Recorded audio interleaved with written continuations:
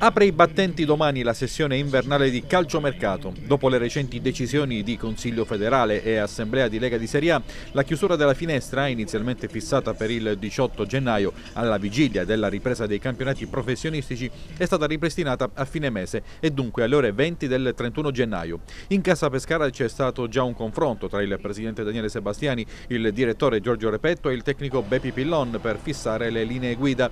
L'aspetto più chiaro è che innessi saranno fatti una volta effettuate delle cessioni anche per liberare spazio nella lista degli over.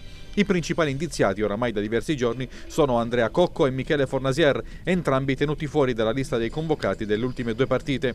Il difensore mai impiegato da Pillon nella prima parte di stagione ha il contratto che scade tra 18 mesi, giugno 2020. Su di lui c'è l'interesse di diverse squadre della cadetteria, tra queste in pole position il Foggia, un po' più defilate ma non affatto tagliate fuori, ci sono Padova e Carpi.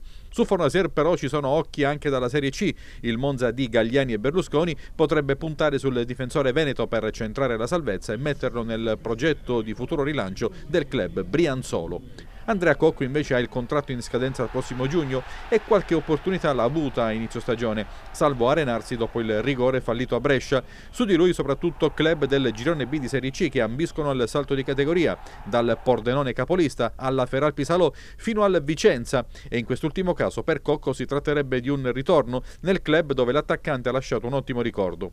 Da valutare poi la situazione di Gaetano Monachello, il giocatore arrivato in prestito dall'Atalanta per trovare la stagione della consacrazione ha fatto i conti con la discontinuità e con l'esplosione di Mancuso, ora praticamente intoccabile nel ruolo di centravanti. Con gli spazi così ristretti, l'attaccante siciliano, d'accordo con l'Atalanta, potrebbe anche chiedere di andare via. In entrata per il ruolo di centravanti, il Delfino potrebbe puntare di nuovo su Gianluca Scamacca, corteggiato a lungo in estate ed il cui approdo è saltato in extremis perché non si fece in tempo a completare l'operazione, diventata last minute per le ritrosie del giocatore di proprietà del Sassuolo.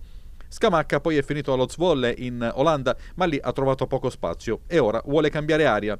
Nel merino del presidente Sebastiani resta anche il centravanti di proprietà della Lazio, Alessandro Rossi, classe 97.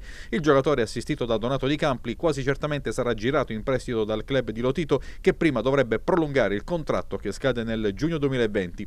Pescara è una destinazione gradita per il prestito. Infine una ultima voce sul fronte delle potenziali uscite è quella che riguarda Ferdinando del Sole.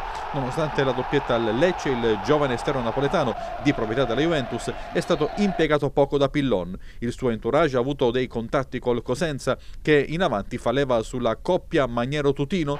L'operazione potrebbe prendere forma solo in caso ci sia possibilità maggiore di impiego nelle fila dei Silani.